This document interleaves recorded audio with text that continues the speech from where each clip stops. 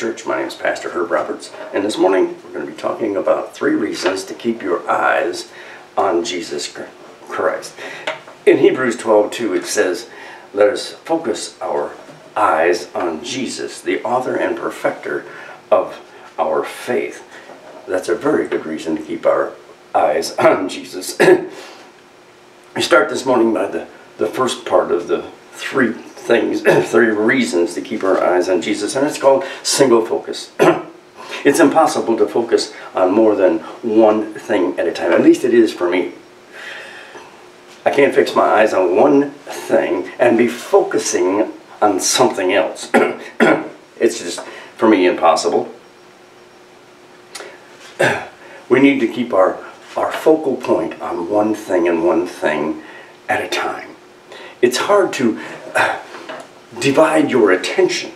The more you divide it, the less something gets your full attention. Now, with that being said, if you are a worldly minded person this morning, then you don't have to pay any more attention to this sermon because this is talking about the things of the world. And of course, you already know that. But if you are a like minded, a spiritually minded, or a Christ minded person this morning, then you need to hear the rest of this message.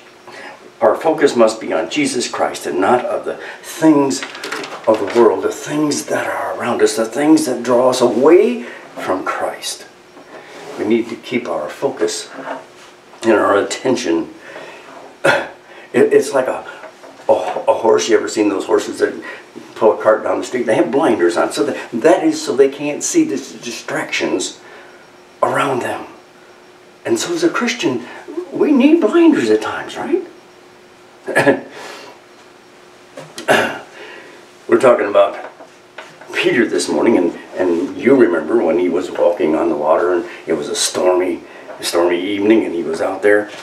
well, the story goes that he got out of the boat and he, he said, Jesus bid me come, and Jesus did. And he started walking on the water. He started headed for uh, Jesus, and he was doing great. He was doing great. And all of a sudden,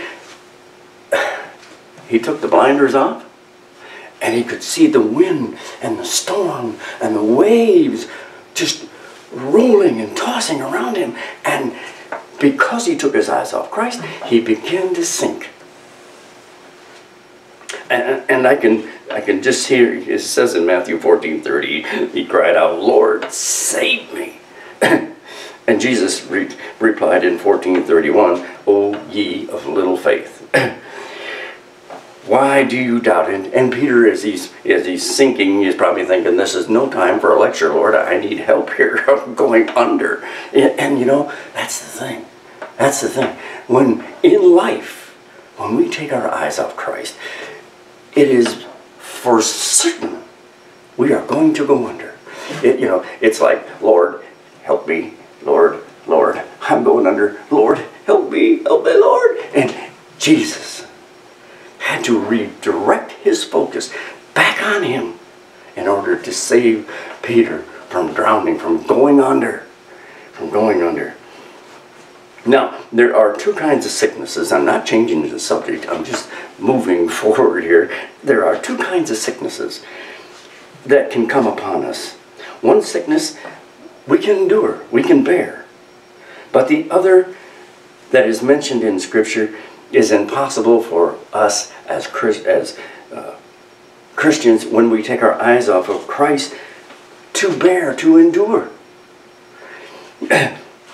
Without quotations, without the works of grace provided by God Almighty.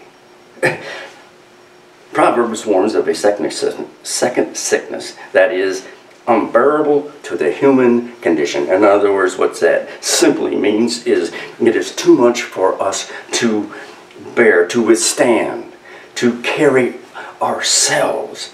We need help and we need and that help can only come from God. Excuse me. In Proverbs 18:14, but as for the broken spirit, who can bear it?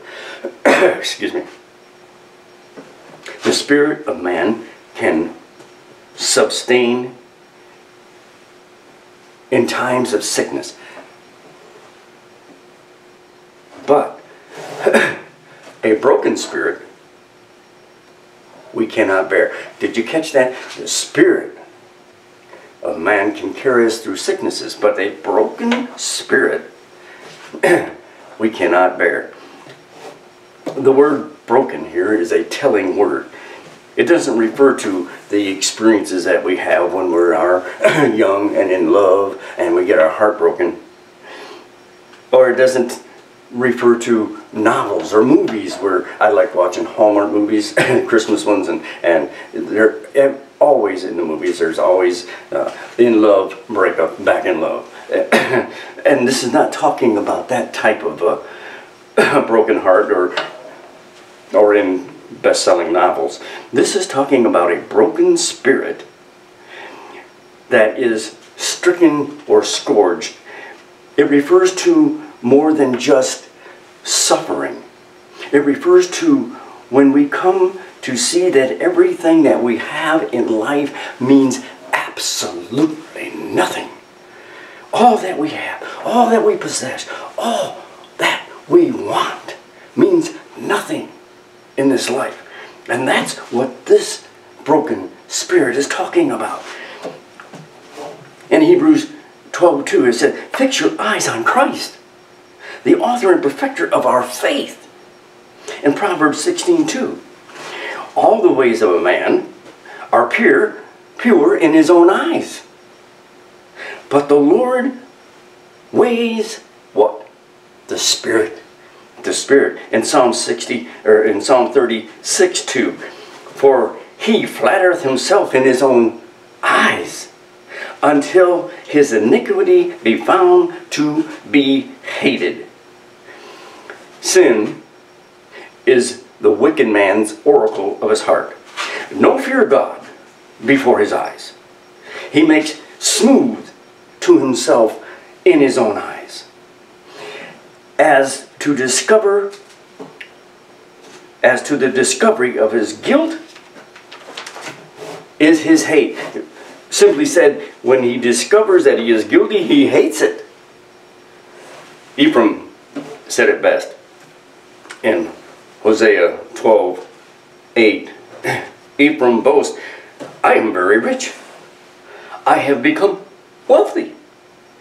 With all my wealth, they will not find in me any iniquity or sin.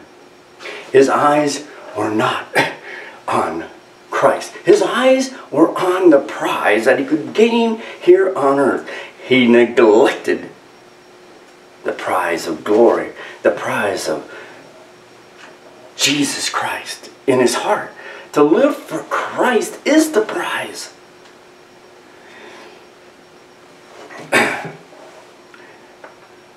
three parts. The three reasons to keep our eyes on Christ. Next week we're going to be talking about pressing ahead. I hope you stay tuned. You have a good week and God bless.